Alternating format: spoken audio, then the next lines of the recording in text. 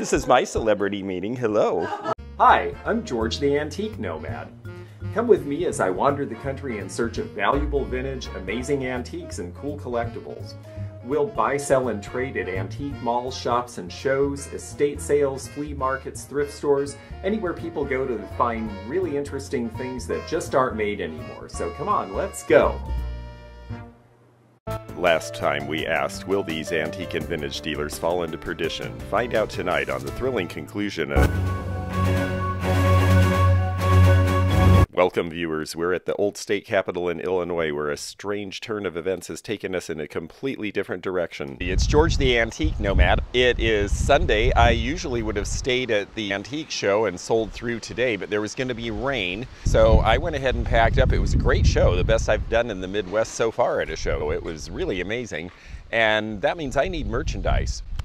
This building behind me is where Abraham Lincoln started out working in the Illinois legislature because this little town, Vandalia, was the capital until 1839. I'm going to a sale down the road from here because a friend of mine is holding it today, so I've got to get on the road and get down the road.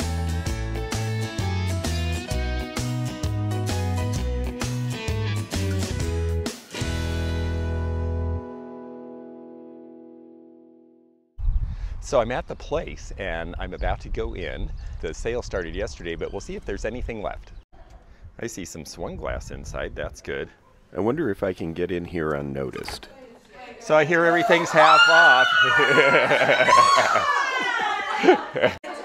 Here's somebody that I've never met before. Hello, Stella. You are famous. I know who you are. Yes, I do. Oh, you are a little nugget, aren't you?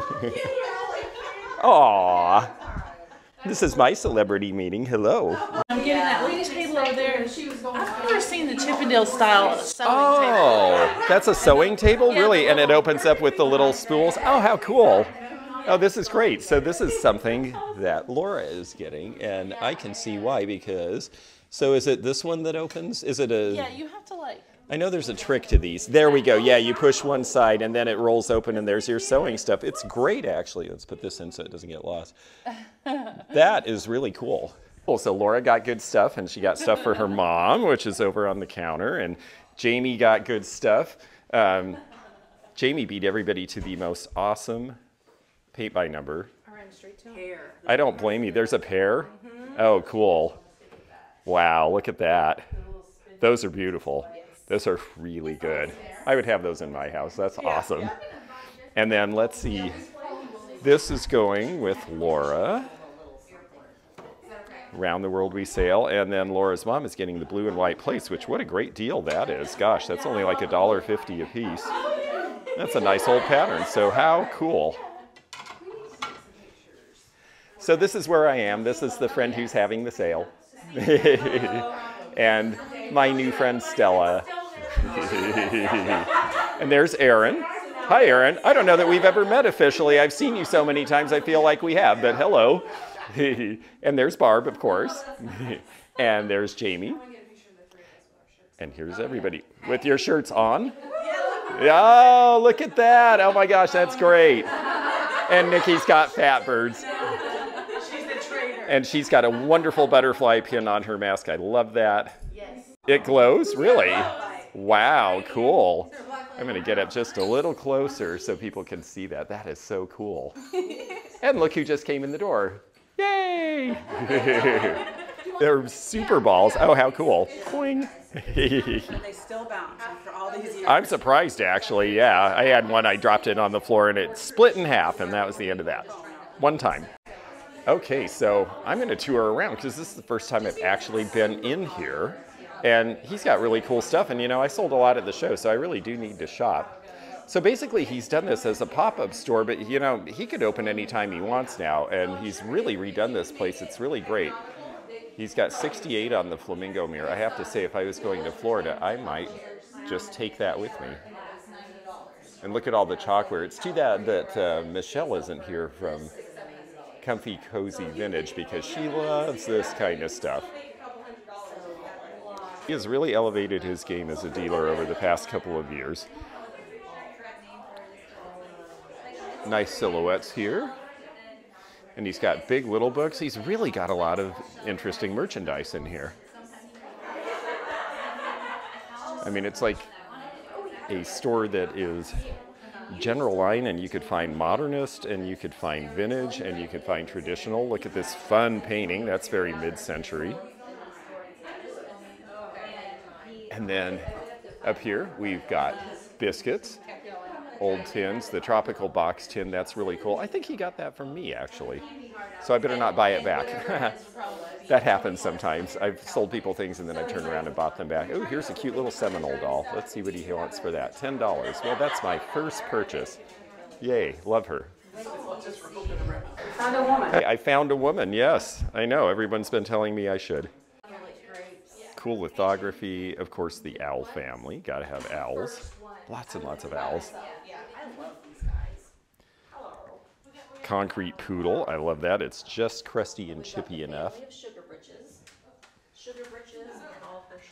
And of course, he's got lots of swung glass and modern glass from the 60s and 70s. Viking Bird's got its label. That's nice. And it's the ruby red, so it's a little harder to find. And there's the plateau mirror that he got when we were shopping in Princeton. What a great mirror. That was such a good deal. I'll show you Barb's corner here. Oh, and he must have gotten this for Misty. How nice. Barb is going to show us her corner in here. We're going into the next room here. You've seen this as seen on TV, and wow, look at all this. Oh, cool. This is great. Got this shelf at auction. Jeffrey wants to buy. I love the shelf. It's so great. It's 50 store display with the green, and then it's got pegboard. That's super functional. And no, you need it for your display. Oh, look. Barb got something for Misty too. And she priced it at $20. But that's actually a great price for that jar. That jar used to go for about $85, and she's only got 20 on it. So that's kind of tempting. I hate to say it. Sorry, Misty. And the ship's glasses, these are really cool. The screen print, they just are finding so much fun stuff, and the colors are good. And it's just so fun to see it all laid out here. There's her banner, Winking Owl Antiques, based on the Shawnee cookie jar. And then if you look around, I mean, there's just so much stuff. I can't wait to actually go shopping. And we'll look at some stuff up close as we do. And then look at this other great shelf. Health Spot is what it says up here. Oh, I would love to have that fixture. That is really cool. This is right out of the 50s. It's got that happy mint green, lots of shelving. Oh, yeah.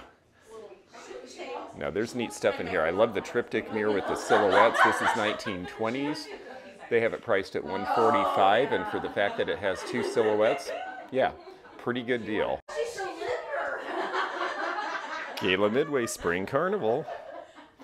Wait, wait, wait, wait, wait. Mary Beth from Fatbird Finds Love circus stuff. I'm sure she checked those out. Oh, come on. Is she gonna do it? Come on. Get up there, Stella. She's like, I've only got one Like in there's cameras on the. Oh, there she goes. Oh, yeah. Yay, She's gonna join the circus now. That was more of a human trick than a dog trick. Aladdin Teapot by Hall, $38 in the cobalt blue. And then look at this funky owl. Isn't that fun? This is newer, but I don't know anything about it. Lots of salt and pepper shakers. These guys are especially cute. He doesn't look like he's having a very good day, though. Down here is a neat Red Wing vase. And it's only $16. I think that's a pretty good buy. It's got a little factory flaw on the inside. It's not a chip, it's under the glaze, but that might bother someone. Otherwise, I would buy this for that price. So a bunch of folks are here shopping and having fun. Oh, that's really cool. I like the old life game. Original dog was a hand model. Wow. I can see that. That's very good. It's when they stroke the preparation H that I'm just like, really? Is that necessary? okay, I think I saw him buy this. So do I buy it from him? Maybe. And I like this oh, Tiger in Bamboo by Cohen. I mean, it's just a litho print, but it's really cool and it's a low number. Lots of moon and stars, and yes, the little blue jar. Okay, let's see what's in here. Halloween.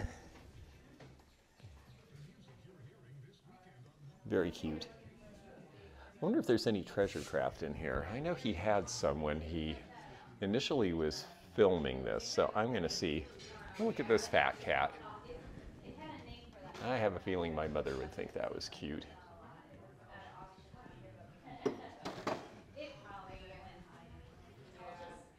Nice Czech vases down here in the spatter glass. So the two in the back are Czech, and the one up front is Murano. Spatter glass is basically where you just mix a bunch of colors together. Sometimes they call it end of day because they just use whatever was left in the kiln. And sometimes they did it deliberately.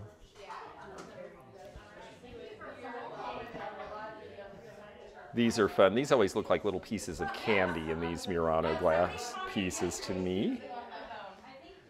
Latticino bell. Latticino, the English decided that they would call this Italian glass latticino because it sounded Italian to them. And look, it's lattice work.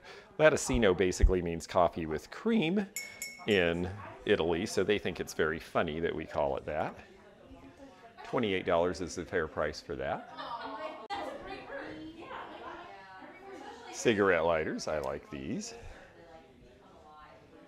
Unavailable, well. That actually sounds kind of fancy and shishi. I'm unavailable. I might like to have that sign. I like little funny signs like that that can be taken out of context. They sell well at shows. This is pretty with the Art Deco on it. This hand-painted pattern reminds me of some of the geometry of Clarice Cliff, but I'm sure it's probably a German knockoff from the 1920s or 30s, and it is. And then this sure has a nice pattern. It's very folksy looking, and it says Handgemalt, which is German for handmade. So this is a German piece.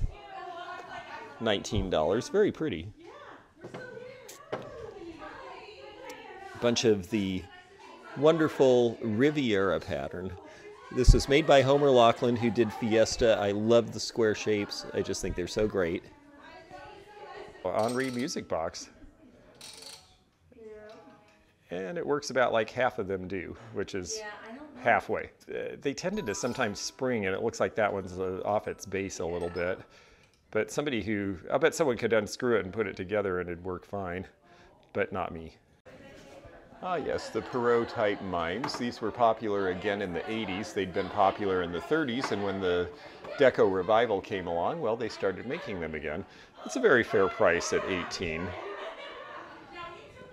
The mermaid for 30, unfortunately, you know, the painting and the glazing, and sometimes they'd get glaze pops. She got a really bad one right by her eye, and it's too bad because $30 is a really good price on a 1930s mermaid otherwise, and I would love to get her. My mother collects those, but unfortunately her factory flaw is in just too conspicuous a spot. These are Rose sparklers, Rose from California.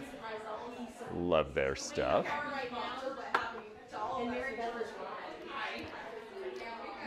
Parrot is pretty. Loads of salts and peppers. And look at this fun face. Love that face. Open mouth guy ashtray. and that's basically what he is. He's a smoker, 1920s or 30s. Who left this behind for matches and cigarettes? Oh, he's got a nice little dog pipe stand. You know, I have to say his prices are fair. He's priced most of these things around retail, medium retail, and it's absolutely appropriate and right for a store. And there are a lot of things collectors could come in here and buy, and a few things that dealers can buy for resale. So I'm excited. It's a new stop on my route whenever he decides to have a pop up store open, that is. Florida Flamingo. Of course, he and I both love the flamingos, and I sell in Florida. He's got $12 on this one. And because it's a box, I might just get that. It is Syroco wood, but I think the fact that it's a box is a good thing. Mid-century fish ashtray, that's fun. And we see some name brand and non-name brand stuff. He's done a good job laying it out though. Royal Copley deer the Black Panther. He's got $50 on, which is about the right price these days. Little bird. This bottle is fun. I think it's a bottle. Hmm. Looks a little too much like a urinal shape for my taste. I'm just saying. Love the red horse planter. And it's funny because I always want to say these are great in Laguna, but no, I don't think so. I think they did the purple. Fish planter is cute.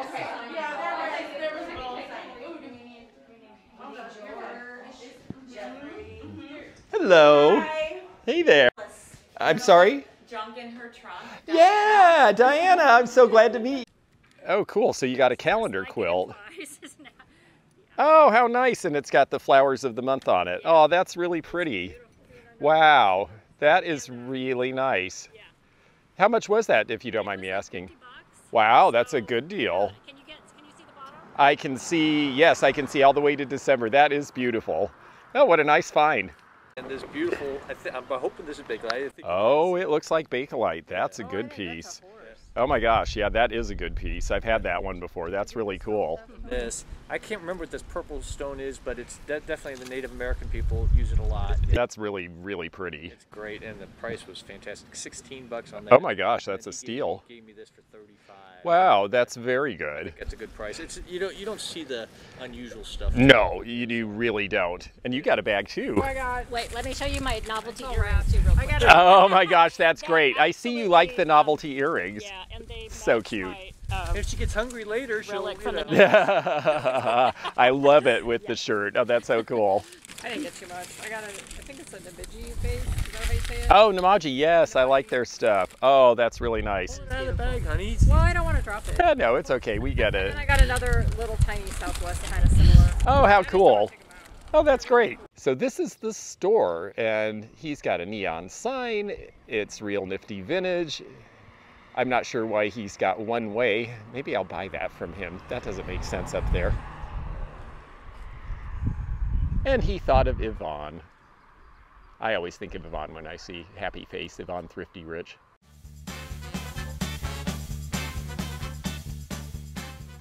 So Jeffrey's got some of his flamingo collection back here, and I'm very happy because I see a couple pieces he got from me, and I always like that because I also collect flamingos. And then there's this great Carlo flamingo. I love those. This really is a great place. I guess it was a grocery store originally, but he's got his big shipping room back here. I'm sneaking around and Nikki just caught me, and I see a really cool tray that I love. Oh, there's his treasure craft. And look, he's hiding it, so nobody knows it's here. Hmm. I guess that means I have to bid. This little guy probably had his eyes painted very lightly, but that is a treasure craft sprite. And there's the neat strawberry tray that they made. There's the mushroom shoe and a little Menehune pineapple guy. And look, there's a pair of owls. So he's got a bunch of it and he's holding out on me. I like the notch cupboard there. And then another vault door. There's all these vault doors on here. I wonder what the previous people were hiding. I bet he found some cool stuff in here when he got this place. Wow, it's really nice. It's got quarters back here. I think I could just move in. This pair of heavy bronze 1930s Scotty bookends is $22. I love them, and they are going with me. Stella's getting the most attention of anybody. Fish wall pocket. This is one clown I do like. I have always liked the clown juicer, and he tends to sell well. And he's only $22, which means Misty priced him. Speaking of clowns, there's Bozo. Bozo was the most famous of the TV clowns of the 50s, but there were a lot of them, regional ones. JP Patches in Seattle, for example, was ours that we grew up with. But Bozo became nationally syndicated, and I remember thinking that his big red feet were really scary when I was a kid. Nice set of glasses here. I like the diamond point screen print in the orange. That's very 1970-ish.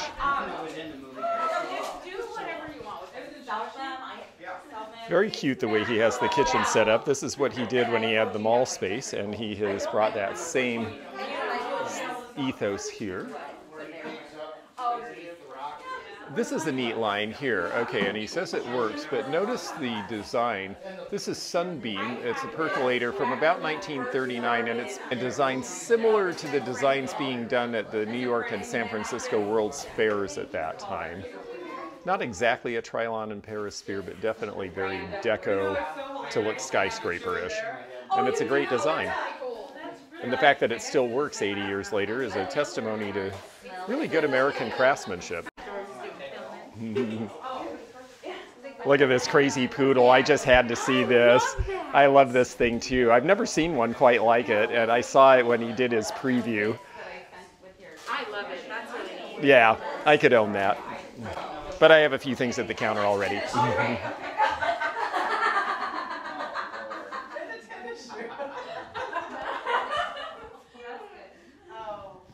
This looks like a Midwestern pottery because it's a ball jug like we see, but notice the way the glaze goes really thin at the handles and it's pretty thin at the top as well. A lot of the Midwestern firms, and it, look, it was 50 cents when it was brand new, which would have been about 1930. Especially during the pre- Depression, a lot of the Midwestern firms that were doing crockery did tableware to try to extend their lives. But the glazing wasn't really their specialty, so that was harder for them. And so you see these areas where they go to the tan because the glaze is thin. So that's a good way to identify a smaller Midwestern pottery as opposed to a big one like Hall or one of the big major companies. And this is sure a nice piece of furniture here. I'm just noticing furniture. I'm really only getting around for the second time, and there's so many fun people coming and going that it's really been hard to focus here on shopping, but I'm trying really hard because I am finding some stuff. I think some of his prices are very good. And some of the merchandise is a lot of fun. Look at the sailfish there.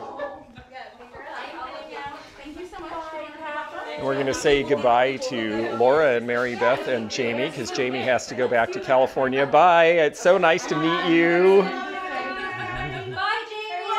I got to meet Aaron in person, and Aaron and Stella are going off with some delicious cookies that Stella wants, I can tell. Yeah, she probably does. well, it's good to meet you. Have fun. You two look like you've made it through a pretty heavy weekend so far. With Reese's Cups, it helps. I'm gonna, they're gonna buy it, but. Yeah, that's what I said yesterday too. The cat is great. Wait, that's what I said about the panther that you bought yesterday. I was like, that's still here. I didn't buy it. Lots of toys, all around fun. This is all fun little stuff. I love noisemakers. Six dollars each. That's about what I get for them. Now, this little piece here, I believe, is by Higgins. Yes, it is. It's just a little ashtray. He's got 12 on it. There's a little money in this, and I just love it, so I'm going to get it. But the Higgins signature there in the corner is what you look for. They would make these as flat trays, and then they would just drop the bottom out, and that's how you end up with these dishes like this. And they did some really big drops, like big centerpiece bowls where the bottom just drops right out, so it's a deep center bowl and a big rim. They're cool. I like them. A friend of mine knew the Higgins when he lived in Chicago, so maybe I'll send it to him. This is my favorite. I love the little man. Yes, I saw him. He's so great. I don't know if he's anybody or not. I think he's just a studio I piece, so. but I think he's so cool, and it's hand blown. Rough console mark. though. Yeah, it, this is some glass blower, but it's it's really neat actually. That'd be fun for like Halloween or Day of the Dead. I love that. Yeah, I do too. Oh, we've got some. You have been so much help here, I can tell, because oh, oh my this is gosh, just so fun. isn't it? Yeah, it's so funny though that you're. Don't you notice how sometimes it's like helping someone with their store is more fun than running your Yes. own? Yeah. It is, it is. And I just know how hard he's worked. Yeah. I mean, because he's just the sleepless nights and he's just Oh, I all of his time and energy in here. And I could not believe how organized it was. You've seen my storage house. Oh, it's nothing Well, like this. neither is mine. And I, I came here like a couple days after he got possession of it, so I saw. The Yeah, you saw, and I remember the video, and that was after you guys had cleaned for a few Yeah. days. So, but what a great building. I love that health. I do have too. I covet house. that. Yes, I was just thinking I would, I I would, so. I would actually get rid of my dresser and fold my clothes and put it on it. I think that's so cool. Again, it's so nice when it's not yours. Uh-huh. Well, when it's yours, you see it all the time, and you're like kind of sick of seeing it. Right, and also you're like, I already thought of the thing to do with it, and I did it, and then something sold, and now I have to think of something new, and and when it's someone else's, you're like, oh, it's new stuff to play with. This is cool. I think this is a Jibwe. And it seems to be in good shape, and it's $30. It looks like mid 20th century. That is not a bad price. If I didn't already have so many baskets, I'd probably buy that. Look at the push 'em up. Something really fun that were popular, especially in the teens, 20s, and 30s. and actually, the plastic versions when I was a kid as well. And I think the faces on here are pretty great. Top hat, the drum major, and oh, another favorite of Misty's. He has more clowns hidden around here. I think he's just doing it to, I think he's doing it to torture you. Yes, I saw that. dun dun, dun dun, dun dun dun dun dun dun dun.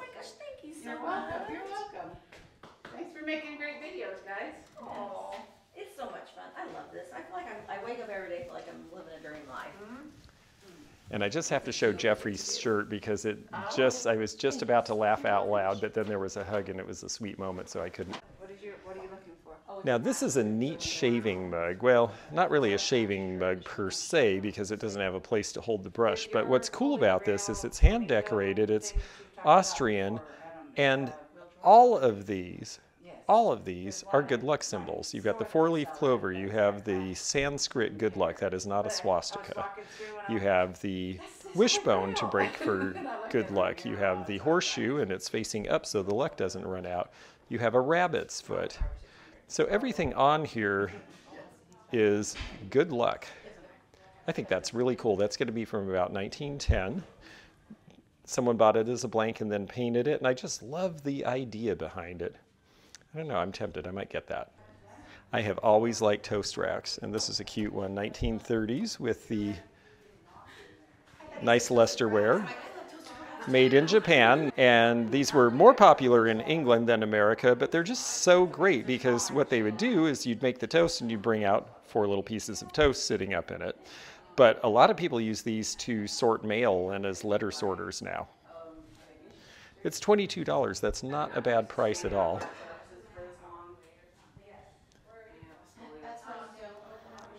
This crab looks sort of sad. Bashir art tile from New Hampshire. Interesting. I've not heard of Bashir. Made in USA. This looks like a 1980s piece. There are a lot of small art tile companies that did work. Some of this you'll see laid into countertops and backsplashes, and then a lot were made as trivets.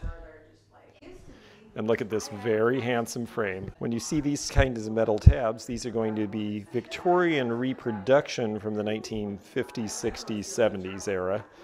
And it's priced at 55, which is about right for what it is. Nice piece. Most of the folks here are viewers or have their own channels, but there are a few folks in the area who've come in as well, so he's gotten some nice traffic and had a good weekend, it seems. And I have too. It's been a lot of fun. These are custard glass by Fenton, and yes, they will glow as well. It does look like Holt Howard or PY because of those eyes, yeah. Oh my gosh, I just bought a PY apple.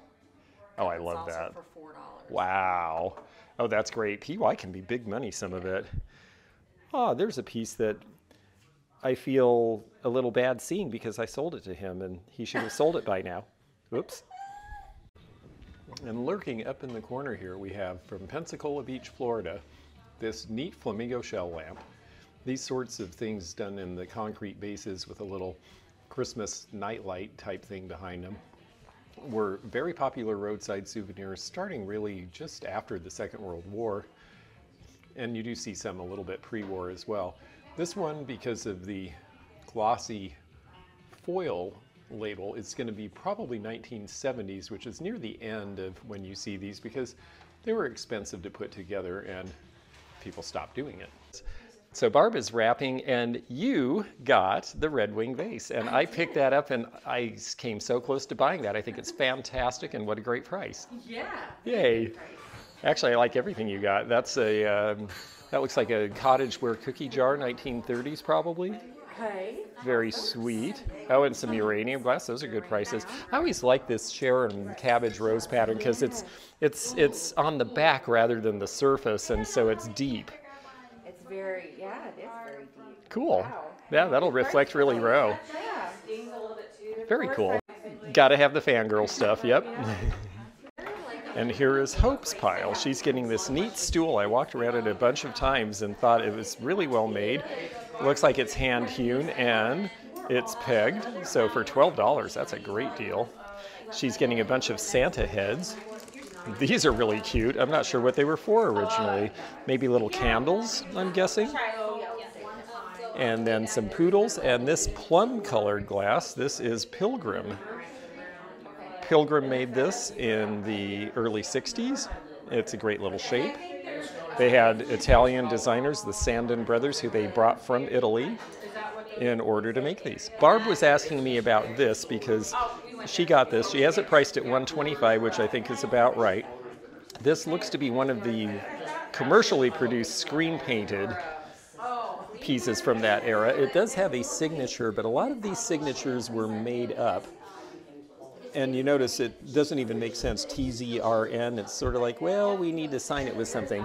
We see a lot that are signed Lee Reynolds. That was a manufacturer, and Lee Reynolds was not an actual artist. So a lot of these were done as art pieces in a commercial vein in the 60s and 70s.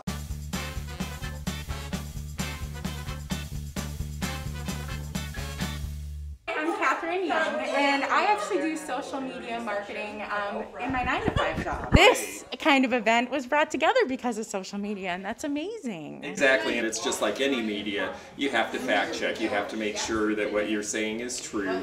And if you're saying what's right and doing what's right, then everybody is really helpful and really great and connect. A really, really wonderful experience, and way better than I expected when I started doing it.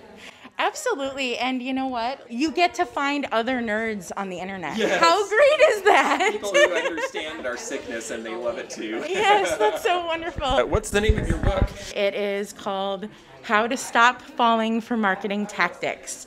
Oh, so, yes, yeah, so you can go check it out. It is available on Amazon. Oh, that's awesome. And you know, that's actually a really important thing too because it's so new. A lot of people, I think, are getting a little hoodwinked by stuff not really understanding. It is a marketing tool Yes. if it's being used that way. Yes, and one thing I found is when I talk to people about different social media tactics as if it was a marketing tactic, all of a sudden they got it. They were like, oh, like this is trying to sell me this idea.